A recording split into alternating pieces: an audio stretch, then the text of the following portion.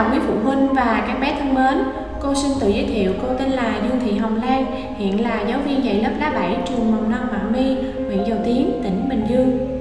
Thời gian này do dịch Covid kéo dài nên cô và các con phải tạm xa nhau. Vậy khi ở nhà này các con thường chơi những trò chơi gì nè? Thế hôm nay cô Lan sẽ hướng dẫn cho các con cách gấp giấy nổ. Bây giờ các con hãy cùng nhìn xem nhé. Để gấp được thì cô sẽ chuẩn bị một tờ giấy hình chữ nhật giấy báo cũ hoặc là giấy loại đã qua sử dụng. Thì ở đây cô sử dụng giấy báo cũ nha các con. Đây là tờ giấy có dạng hình chữ nhật nè. Thì đầu tiên cô sẽ gấp đôi, hai cạnh dài để trùng khít với nhau. Tay phải thì cô giữ hai mép giấy nè, cho đều nhau nè. Và tay trái cô sẽ miết các góc còn lại để tạo thành một đường thẳng. Vừa làm cô vừa miết nè, cho thẳng đều, sau đó cô sẽ mở tờ giấy ra nè, và tay trái cô sẽ gấp góc phía bên trái vào đường thẳng mình vừa tạo, để tạo được một hình tam giác nhé con. Con nhớ nè, một tay thì mình sẽ giữ giấy và một tay mình sẽ miết. Tiếp tục cô sẽ gấp phía góc bên phải để tạo thành một hình tam giác. Tương tự cô cũng một tay giữ giấy và một tay miết giấy. Sau đó cô sẽ quay tờ giấy lại và tương tự, gấp hai góc còn lại nè. Tay trái mình sẽ gấp gấp góc phía bên trái. Tay phải thì mình giữ cái nếp góc. Rồi, tương tự, ở góc phía bên phải để tạo thành một hình tam giác nhé con.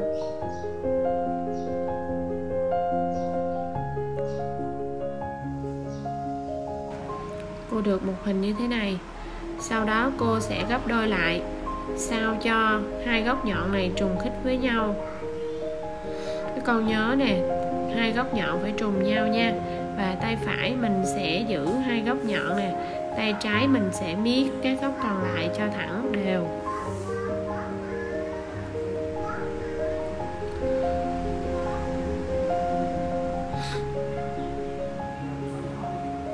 Sau đó cô gấp đôi lại một lần nữa.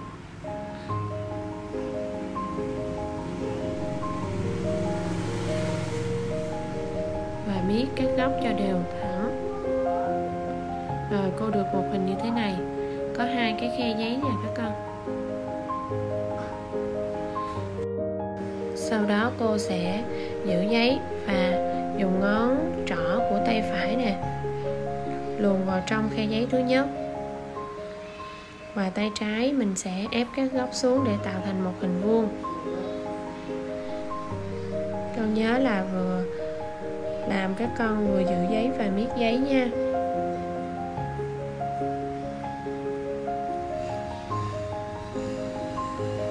Rồi cô sẽ gấp đôi hình vuông lại để tạo thành hình tam giác.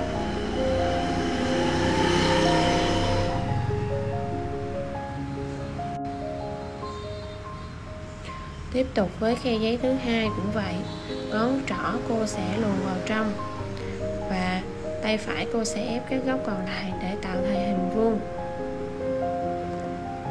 Vừa làm cô vừa miết giấy nè. Miết giấy cho thẳng và gấp đôi hình vuông lại để tạo thành tam giác. Và bây giờ các con giữ các nếp góc nè cho đều và miết cái góc cho đều nhau. Vậy là xong rồi đó con. Thì đây là giấy nổ mà cô Lan gấp bằng giấy báo nè. Ngoài giấy báo ra cô còn gấp bằng giấy màu nè. Và giấy lịch cũ nè. Và giấy loại đã qua sử dụng nè. Đây là cái giấy nổ mà cô Lan vừa mới gấp xong nè. Để chơi được thì các con sẽ cầm ngón cái và ngón trỏ giữ cái đầu nhọn của phía dưới hình tam giác nè con và đưa những hình tam giác nhỏ ra phía ngoài nè. Sau đó mình dùng lực chủ mạnh xuống. Sẽ tạo ra, ra tiếng kêu nha. Rồi các con muốn chơi lại thì các con sẽ gấp những mặt này vào trong. Rồi và chơi lại lần nữa. Rồi. cô Lan vừa mới hướng dẫn cho các con cách gấp giấy nổ. Vậy khi ở nhà các con hãy gấp và chơi cùng với anh chị em mình nhé. Khi chơi xong các con nhớ nè cất gọn gàng nè và rửa tay sạch sẽ để phòng chống được bệnh covid nè và bảo vệ sức khỏe của mình nha các con. Còn bây giờ thì cô Lan xin chào tạm biệt các con.